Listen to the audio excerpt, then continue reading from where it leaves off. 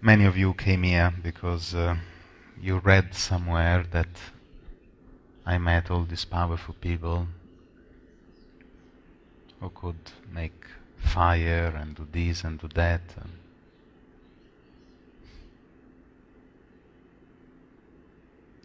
You know, one of them, his name is John. Maybe you have seen the videos, maybe you have heard the stories or read the book. Mm. He became famous as the Magus of Java, mm. John Chang.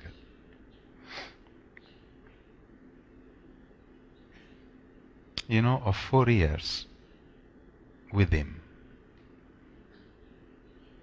what I remember, what he really taught me, was not all the powers and the energies and the agoponchos and I don't know, whatever else.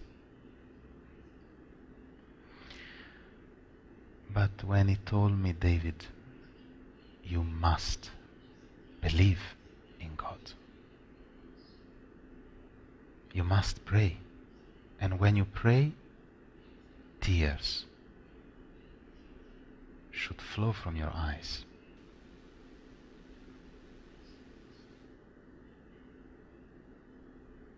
This very same man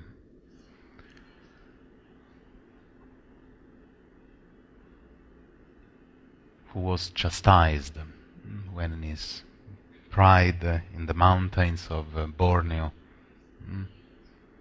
calls or challenge the existence of the divine. Maybe if you have read the book, you might remember this rather dramatic passage.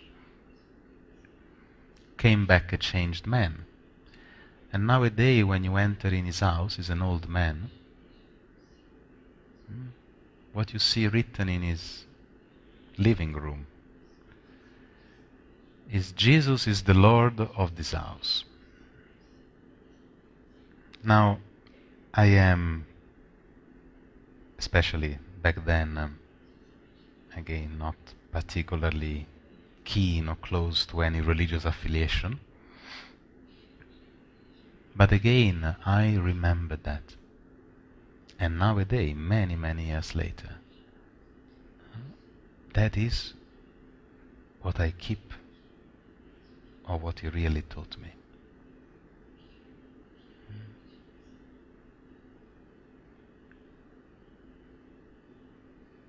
Not the powers, not the meditations, not the breathings, not this, not that. You must believe. And when you pray, tears of love should flow from your eyes. You see, all these great powers that you are here to achieve, uh, opening your chakras and purifying uh, your nadis or, uh, I don't know, connecting the spirits, are so small.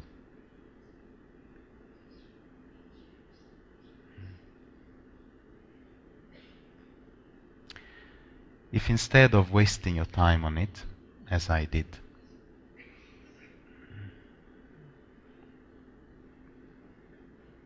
you instead invest the precious time of your life to love. You make much better use of your life.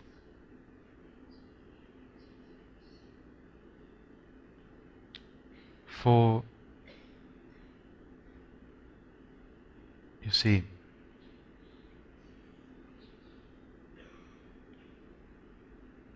through love, you can realize the comparticipation with God, with the divine.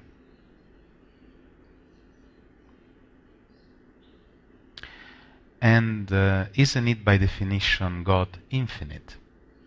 Yeah? So if you can realize even the 0.5% of that infinity, how much is it? It's infinite. There are scientists in this room, I believe. It's one of the paradox of infinity. Doesn't matter how much you divide it, it remains infinite. If you just have a glimpse of the divine, it is infinite. And John uh, said uh, very clearly, John the evangelist, God is love. Who knows love? Knows God. So if you can realize even a little bit of love, you have realized a little bit of God.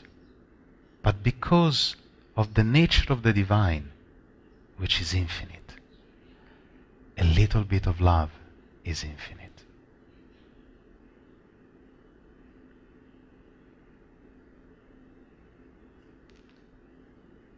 And uh, a few years ago,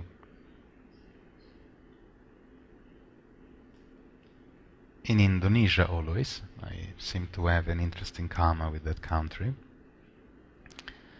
I met another uh, remarkable man, a very simple man, a cook,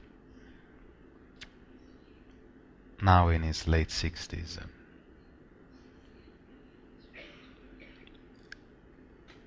And uh, following the religious tradition of his culture, is an Hinduist.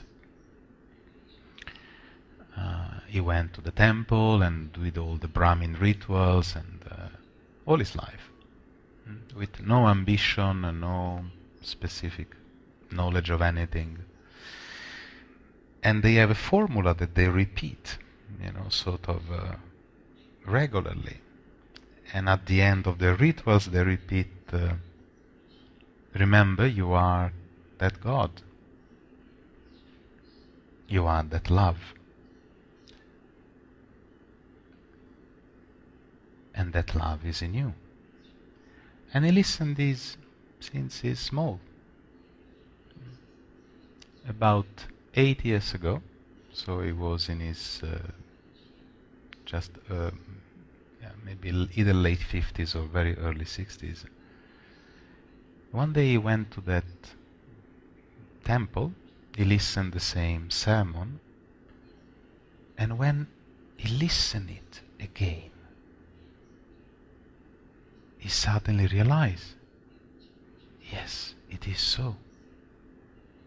He felt that love into his heart and he realized that that love is God and it is infinite. And he realized his identity with it, his comparticipation in it. He walked out of the temple with all the siddhis and powers that the man whom I mentioned before, John, hmm, had to work for 30 years to get. Four, six hours a day of gruesome meditation and breathing techniques. He just walked out of the temple and they were all there. They are always there because they are but a fraction, a fraction, so small compared to the infinity of love. So if you just realize through your action that love, you become part of that infinity.